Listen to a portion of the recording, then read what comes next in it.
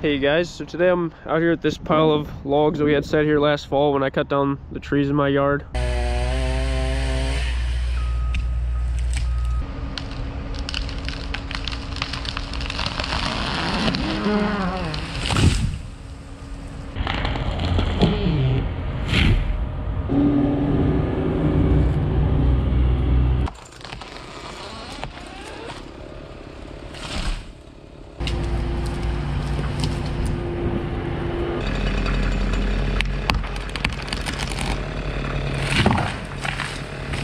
First step is going to be cut it up with a chainsaw and then we can split them sometime.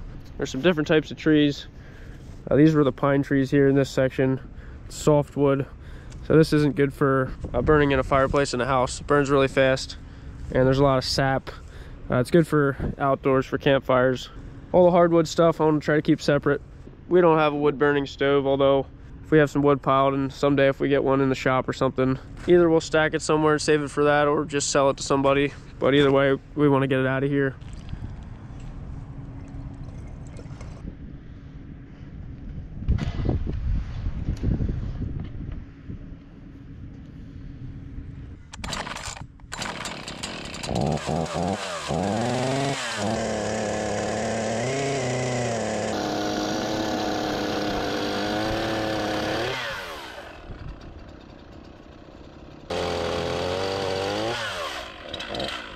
Saw was running kind of hard. The blade's really sharp. It was just not cutting as easy as I thought it should. And then now the blade locked up and it, it wasn't spinning the chain at all. Everything's loose in here.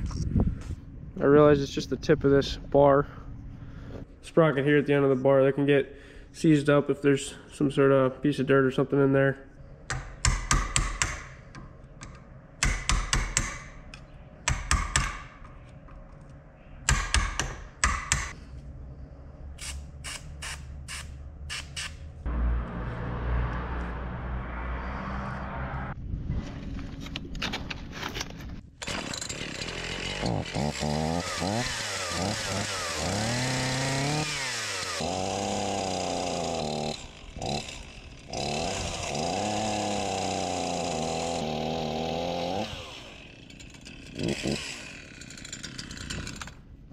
My dad and I couldn't figure out what the issue with the saw was there.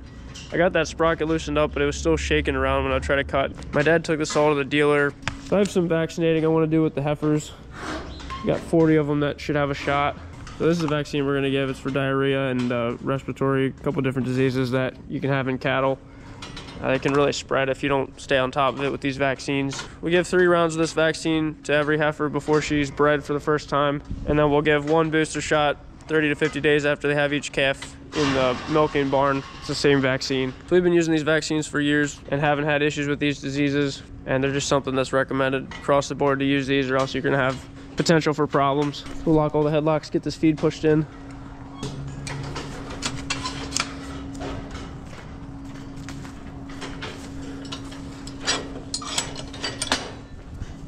We're really liking these new medium-sized headlocks we put in this barn because it used to be these these tall ones the whole way down to uh, down to there and and these heifers they wouldn't use them properly. They'd sneak their head in the bottom of them also got a little more capacity in the barn more head spaces. Guess uh, i broke the broom handle the other day so i have to use this shovel to push feed in right now.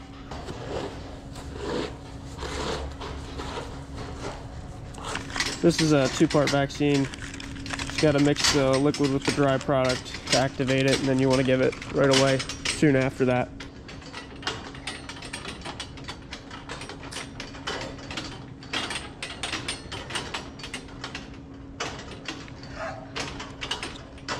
These headlocks make it really handy.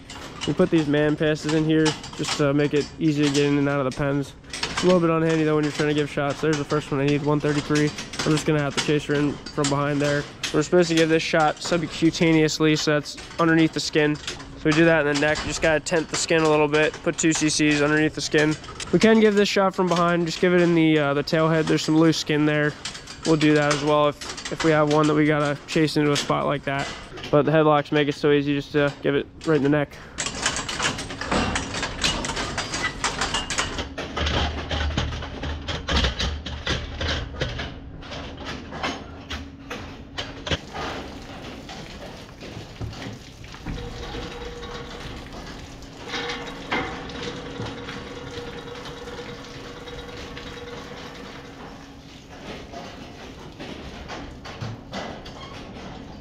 Pit's actually getting pretty full in this barn. We were having trouble with the pit being too dry in here. We were trying to stir it up and get too dry at this end. All the rainwater from this area all runs in the pit down here.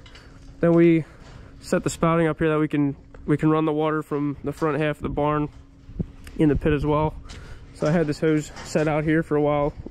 Got a lot of water in the pit that way. Now we have it going back down into the drain that'll go underneath and out into the waterway. Just wanted to make sure we could agitate the pit. We wanted to have a lot of water, but it, I guess we got a little too much water maybe. Pit's getting full.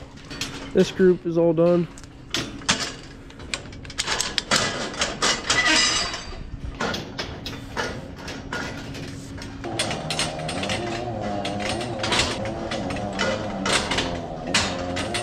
Got these all done. My dad helped me finish those up. He's taking the clipboard up to the computer. We'll get those all entered in so we keep track of which ones got their shots. Always good to double check and make sure I released all the headlocks. My dad took this into the dealer. There was no issue with the bar or anything. It was actually the, uh, I guess the air filter was getting clogged up. That was all it needed was to be cleared out. There's certain things that I should know that I don't. That would be one of them. But uh, we got to figure it out, learn something. They gave us a kit new spark plug and a couple filters that we can change once we start having issues. It's good to have on hand, but it, it didn't even need any new parts, just needed to be cleaned out. I'm gonna cut wood for a couple minutes and then I have to dry up a couple cows. Uh-huh.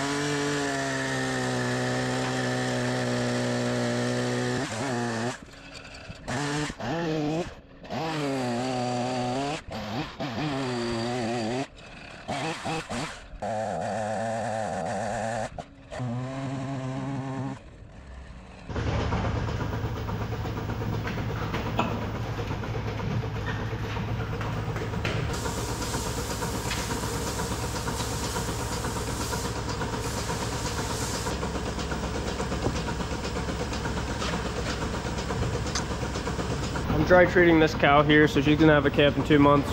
We're gonna stop milking her, giving her some uh, preventative treatment here, keep her from getting mastitis during the dry period. And then I'm putting a sealer in the teat. This will just create a seal. It's just a paste, stays right in the, the end of the teat there. Keeps any dirt from making its way in. Uh, that could cause an infection while she's not milking.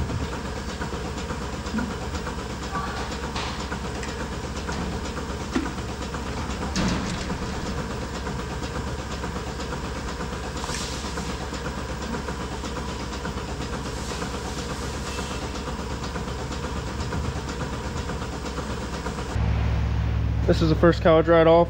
I'm gonna get her sorted out. Running the foot bath today. Megan takes care of setting that up. We run it three days a week.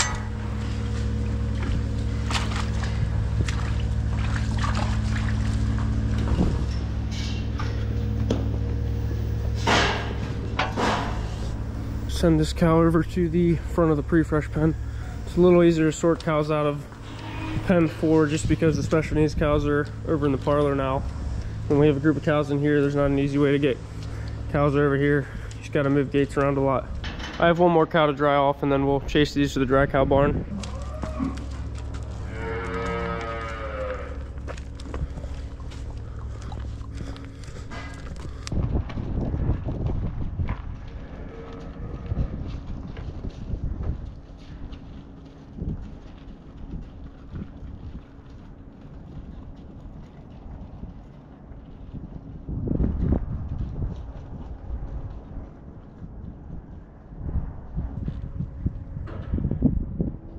All right, it's the next day. I didn't get a lot cut yesterday because till we got the saw working, I had some cow work to do and then I had to mix feed. So back at it now.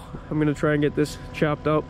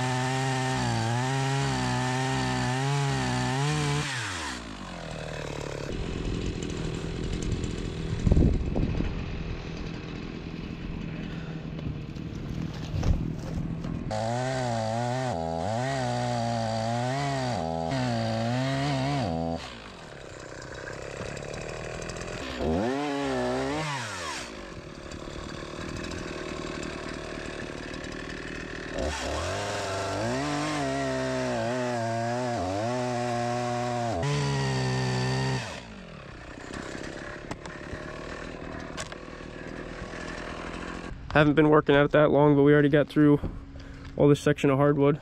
Just a little bit more to cut and then we'll push this out of the way. It's crazy how fast you run out of fuel when you're running the saw full throttle constantly. Gonna mix up another two gallon jug here. Dump two of these guys in and add some gasoline.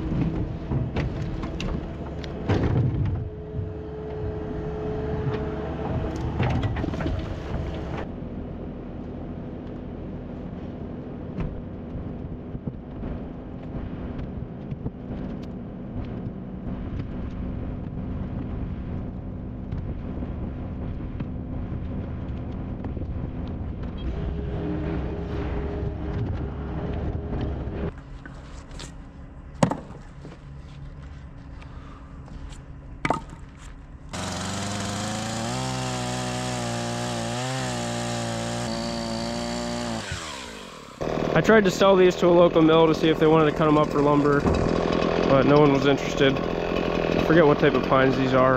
Whatever they are, they're not that valuable.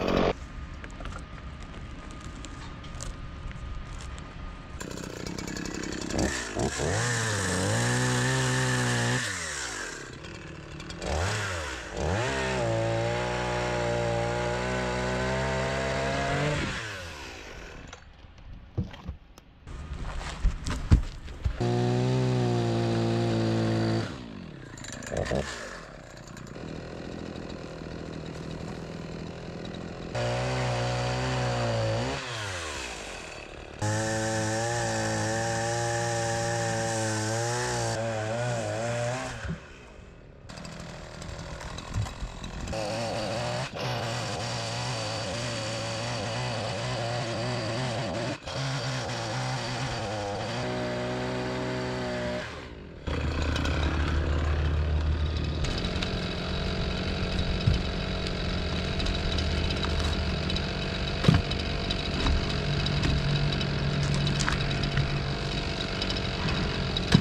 It's time to switch the chain. It's not cutting it straight anymore and slower.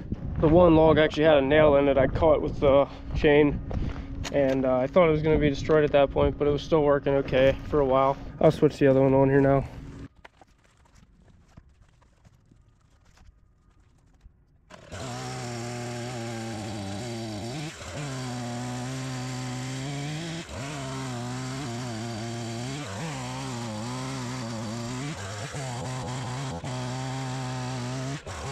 All right, guys, I'm in the shop here. It's the end of the day. Didn't quite get all that wood chopped up. kind of dulled my chains there. We're gonna sharpen those and we'll get back at it next week, I guess. Hope you guys have a good Christmas. This video will probably be out after that, but all right, see you guys.